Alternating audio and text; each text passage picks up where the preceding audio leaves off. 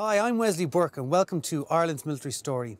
We're here today in the National Museum of Ireland, Collins Barracks, Dublin, for the 90th anniversary of the formation of the Reserve Defence Forces.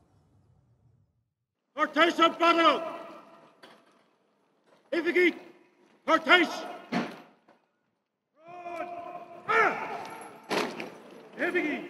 Broad! Ah!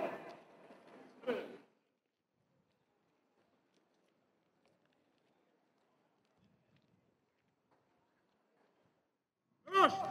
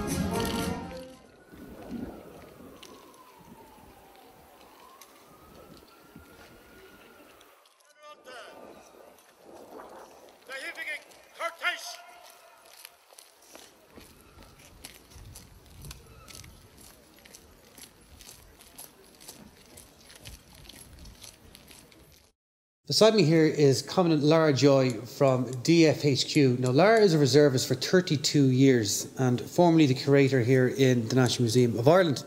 So, Lar, tell us what has your career been like in the reserve and uh, what are you up to now? Um, at the moment, I'm working uh, in DFHQ in the Reserve um, Directorate. Uh, but prior to that, I've had a series of staff positions in the press office and in uh, 2 Brigade.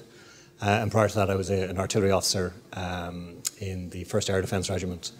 Um, as with most people in uh, the reserve, uh, you start off as a, at the bottom as a private, or in my case, a gunner, and you work your way up through the ranks. Uh, eventually, after 10 years, I was commissioned. And since then, I've had a kind of a, varied career um, in charge of radars, of guns, um, as uh, an operational role, and then more into staff uh, staff roles over the last kind of uh, 10 years. Okay. And so, why join the reserve? Uh, for me, it was always an interest in all things military, uh, military history, and um, if you're going to have a, an interest like that, uh, serving the reserve is a very practical way of learning about armies, um, and at the same time, uh, having a, civilian job and kind of having outside interests. So, for me, it kind of fitted something I wanted to do, um, and uh, in a way, after about 20 years, it kind of my both careers collided. In the sense, I became uh, the curator of military history at the National Museum, and then also my military role, which uh, is unusual probably in the reserve. Um, but in my case, it was just it's one of those things that happened. So it was nice, and I, what I learned in the reserve helped me do my day job, and then working in the day job helped me to, to work in the reserve. So that that doesn't happen too often, but it did happen in that case. So tell us a, a, brief history of the reserve itself. So we're here at it is the 90th anniversary. They were formed in 1929, but you actually studied the, the early early reservists uh, for your uh, masters, isn't that correct? For my masters in 20th century history, I, I did uh, looked at the reserves from the 1920s and 1930s. Um, it was a year, it's known as the, the, decade of experiments because there is no one full reserve. So in 1929, um, the first what we'd call militia unit or weekend warriors, which is probably the term that you'd hear in America, is the Volunteer Reserve, um, and they're based in this barracks, Collins Barracks. There's also on the south side in Portobello Barracks, or Cathal Brugha Barracks as it's now known. Um, and then in the 1930s, the Fianna, Fáil government were in power. They decided to go for a bigger, more nationwide force called the Volunteer Force. And in a way, it was to encourage their supporters to join up into the army, and it worked in many ways. Um, and then during the emergencies we call World War II, uh, the local defence forces were created, which is probably the largest reserve we've had, well over 100,000 uh, reservists served then. Um, and that led then into the FCA or Fórsa Cosanta Áitiúil, which was in existence for well over uh, 50 years, um, and at its peak had about 35,000 reservists. Um, so reserves over the 90 years have kind of um, uh, grown large, grown small, and at the moment now we're back to being fully integrated into the uh, regular army. Um, it's known as the Army uh, Reserve, and then you have the Naval Service Reserve. Um, it's a lot smaller, it's about 1,500 uh, reservists at this stage. So it's ebbed and flowed over the 90 years. There's been many versions of it. Um, but in many ways, it's probably, uh, for its future role, um, it's probably a good place to be. It's now merged back into uh, the regular army, um, and uh, that benefits it, um, and it also, I think, feels it benefits the regular army at the same time. Okay, great stuff. Thank you so much, and thanks for your service. No worries. Thank you.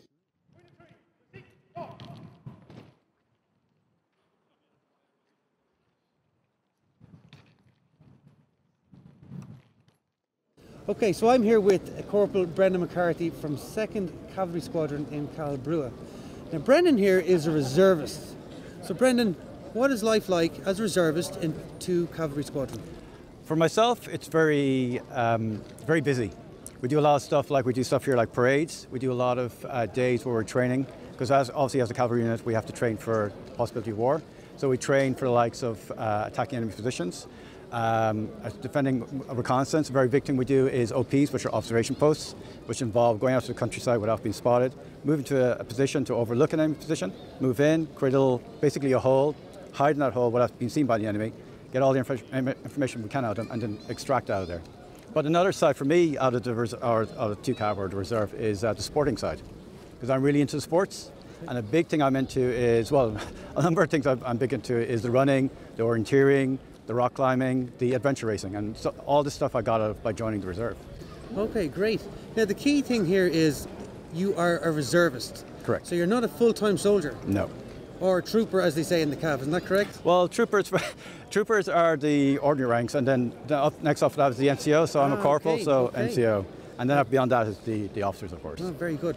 So, what do you do in, I suppose, the real world or in your everyday life? Uh, in my real world, uh, in the real world, I have a much more boring job. I work as a software developer for a company called Sage.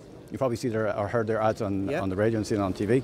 And in that job, I just sit at my desk, type away. You know, it's quite it's quite okay, but it's not very physical. It's very boring. And to compensate for that, I do this stuff in the, in the army or army reserve. So it's, I get one side is very mental, sitting at a desk. The other side is very physical, getting out and doing stuff. Okay, so for anyone out there, why join the reserve? Well, I joined. Well, for myself, um, you got a lot of people just have like a job and then they have their family. And for me, the reserve gave, gave me uh, a lot more great opportunities. It got me to see a lot more of uh, the world, a lot more of Ireland. It got me into, as I said, it got me into uh, orienteering. Like at the moment, I'm the over 45s Irish orienteering championship or champion. I wouldn't have got into that if it wasn't for the army. Uh, beyond that, I got into rock climbing, which is a great way to get out and into the um, into the countryside and learn how to you know push yourself. Um, um, there's been one or two accidents where I've injured myself, but I've enjoyed the, the experience overall. Also got into the running. Like if I hadn't joined the Army Reserve, I would never have been. I'd be, I- I- in some ways, I'd love to have a twin, a twin who hadn't joined the Army Reserve and, and myself who had joined. To compare ourselves, and I'd say if I hadn't joined, I would be a little fat guy sitting at home on the computer watching TV, wishing I had done something. But instead, I joined the Army Reserve and I got out there and done a lot of stuff that I'm glad that I wish I'd done when I was in my 20s, but I got to do in my 30s and 40s. And it's given me, you know, in a lot of ways, it's given me a real sense of fulfillment. I really get a lot out of what I've uh, achieved here. Great stuff. Now, thank you so much. It is a huge commitment, and well done for you for putting in all that time and uh, all your free time. Not all my free time, but a lot of free time. A lot of free time into the Army Reserve. I am going to bring you over now because I do. You are the you, the guys here are. Uh, you have some bikes with you. That's correct. So if that's okay, Yep. we'll go over and have a look at uh, what bikes you have, and you Yes. might maybe tell us what they are and what they're all about. I can tell you something about the bikes, but the real bikers are there, and they'll tell you Ah, all the all the interesting stuff about the motorbikes. Great stuff. And what they what they do with them. Cheers. Thanks very much. Perfect. Thank you. Okay, thank you.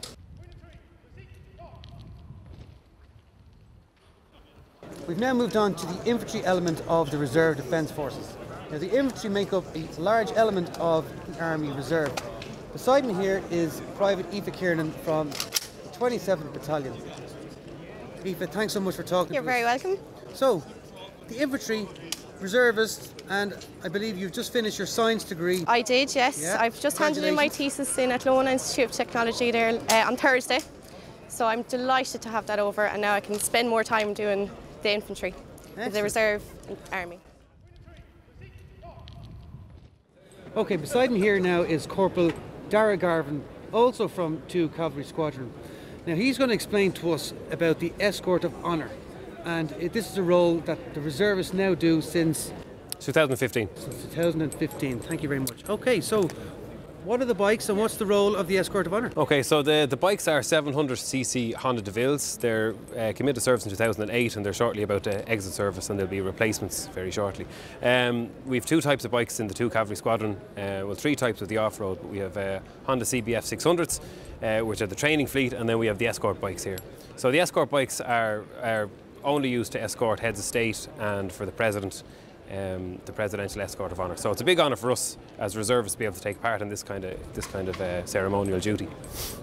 Now, the escort of honour could take place any day of the week, couldn't it? So It you, does, you guys yeah. could be called upon at any time to do that. Yeah, well, what usually happens is they, they know in advance when the escorts are going to be, and then they'll put out uh, word to our to our chain of command and ask uh, who's available for whatever whatever's coming up. You know, so any any of the escorts on the weekend usually we can do more often than not. But uh, today, like today's a Tuesday, we took time off work to come in and uh, and, and lend a hand. Very good, very good. Thank you so much for doing that.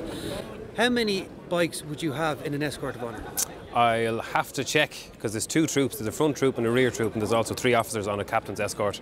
Um, so there's a captain's escort, which the full the full squadron is out, and then there's a lieutenant's escort, which is smaller. So lieutenant's escort will be predominantly for escorting uh, ambassadors to.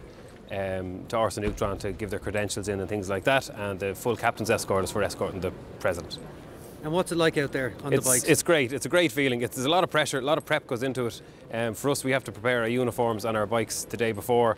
Um, so we'll come in after work and um, we'll, we'll work on the bikes and work on the uniforms. You could be two or three hours between getting the bike up to scratch and getting the uniform up to scratch.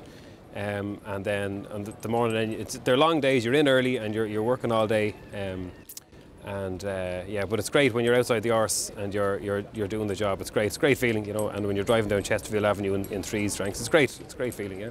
That's really cool. That's really Yeah, cool. it is. Now you're also an instructor on these bikes. That's right. Yeah, I did my instructor's course two years ago. So um, yeah, I was trained in in house by reserve uh, um, instructors, and then uh, I did my instructor's course two years ago down the DFTC with the CAV school. Yeah, it's great. So I'm now teaching the skills that I was taught through the unit. So it's great to carry that on. You know, Great. keep doing. Thank you so much. Not up. Thanks very much. Cheers.